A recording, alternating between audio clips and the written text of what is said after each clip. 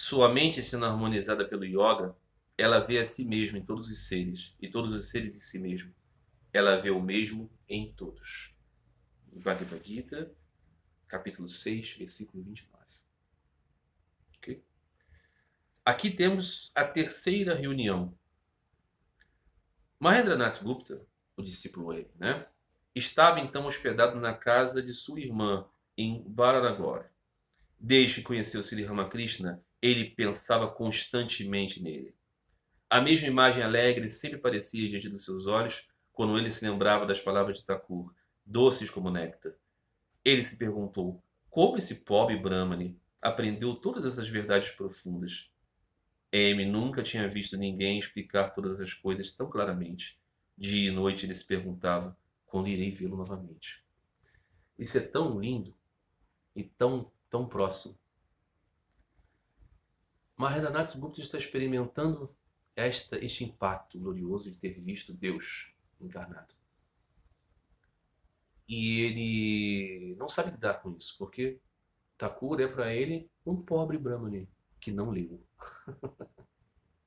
e ele é um educado, universitário, acadêmico, é?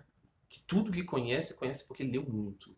E aí encontra aquele homem que explica tudo tão claramente. E ele sente a lembrança de sua face luminosa, do seu sorriso, dos seus cânticos, de sua glória.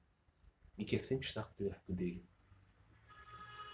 Eu sinto muitas vezes essa necessidade de estar próximo de Itakur, de ouvir os seus ensinamentos, de ver a sua face, estar próximo, ainda que eu esteja aqui, neste século XXI.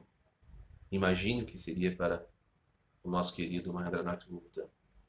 É? Mas pela graça de Deus podemos sentir o mesmo, o mesmo, podemos entender essas palavras tão bem. Não é? Talvez um amigo amiga que estejam ouvindo essas palavras digam, ah, eu não tenho esse, esse anelo com Sri Ramakrishna. Pode ser que ele venha. Mas talvez você tenha por outra personalidade espiritual. O ponto é entender o X da questão aqui. Não é? é as expectativas de M foram superadas pela manifestação da santidade. Muito bem, continuando.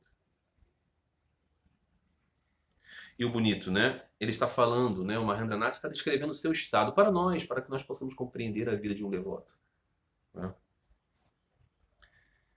É, ele não quer sujar aqui com muitas manifestações do eu, dizendo eu pensei, eu pensei, eu pensei. Não, está falando, ele se retira e descreve ele mesmo como o M. Às vezes embananado M, às vezes atabalhoado M, às vezes confuso M, sempre devoto. Muito bem.